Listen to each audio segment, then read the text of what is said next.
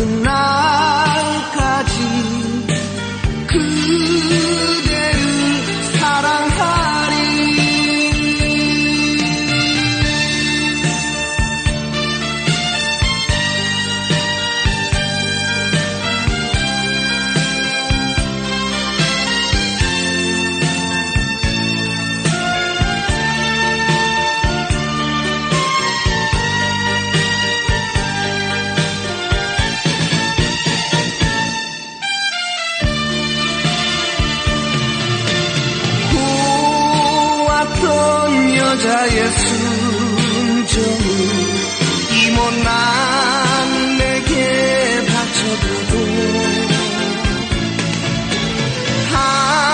한마디 원망도 않은 채긴 세월을 보냈지.